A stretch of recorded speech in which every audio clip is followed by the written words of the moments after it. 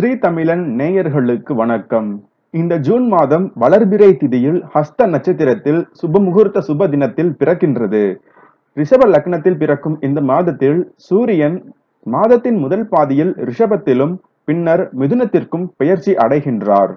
மிதுனத்தில் சுக்கிரன் புதன் ராகு ஆகியோர் மிதுனத்தில் இருக்க உள்ளனர்.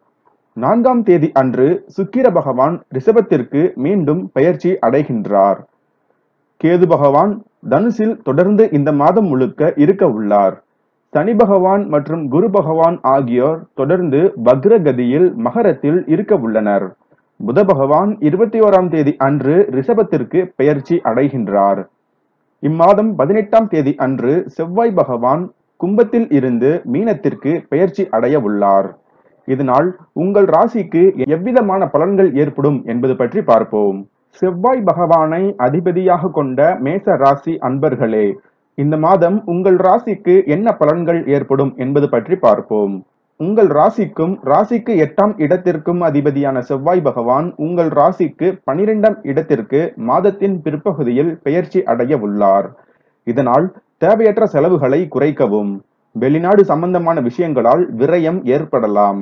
முருகனை தரிசிக்க மனம் எண்ணும்.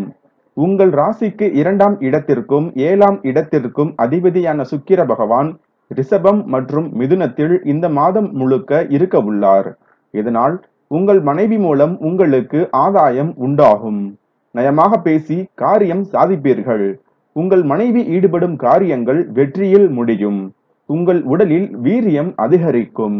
உங்கள் இளைய சகோதரி உங்களுக்கு உதவிகரமாக இருப்பார்கள். ராகு உங்கள் ராசிக்கு மூன்றாம் இடத்திலேயே இருக்க உள்ளார். இதனால் இளைய சகோதரருடன் மோதல்கள் இருக்கும் வாய்ப்புகள் உண்டு. அவருடன் விட்டு கொடுத்து செல்லவும். அசட்டுத்தனமான தைரியம் உங்களிடம் காணப்படும். கழுத்தில் இருந்து வந்த பிரச்சனைகள் மறையும். தந்தையுடன் மோதல் போக்கினை தவிர்க்கவும். உங்களின் பேச்சிற்கு மதிப்பு உயரும். குலதெய்வ வழிபாட்டினை தொடர்ந்து மேற்கொள்வது நல்லது. காலையில் காகத்திற்கு உணவு வைக்கவும். தந்தையின் மீது ஏற்பட்டு இருந்த வெறுப்பு கொஞ்சம் கொஞ்சமாக மறைய ஆரம்பிக்கும். பூர்வீக சொத்துக்களில் இருந்து வந்த சிக்கல்கள் மறையும். புத்திசாலித்தனமாக செயல்பட்டு ஈடுபடும் காரியங்களை வெற்றிகரமாக முடிப்பீர்கள். மகிழ்ச்சியும் அமைதியும் நிலவும். மனைவி அல்லது உங்கள் கணவருடன் வீண் வாக்குவாதங்களையும் சண்டைகளையும் தவிர்க்கவும்.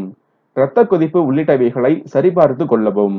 எதிரிகளை இந்த மாதம் வீழ்த்துவீர்கள். கடன் பிரச்சனைகளால் தலைவலி ஏற்படலாம். தந்தையின் மூலம் செலவுகள் ஏற்படலாம்.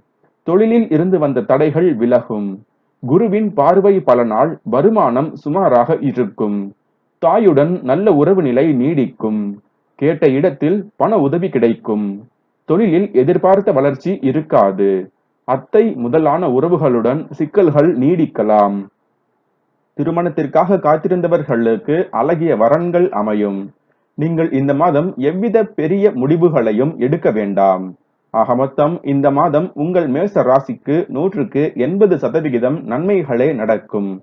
மேலும் பல நன்மைகள் நடக்க குல தெய்வத்தினையும் முருகப்பெருமானையும் வணங்கவும். மேலும் இது போன்ற தகவல்களுக்கு ஸ்ரீ தமிழன் சேனலை சப்ஸ்கிரைப் செய்யவும். மறக்காமல் பெல் சிம்பலை பிரஸ் செய்யவும்.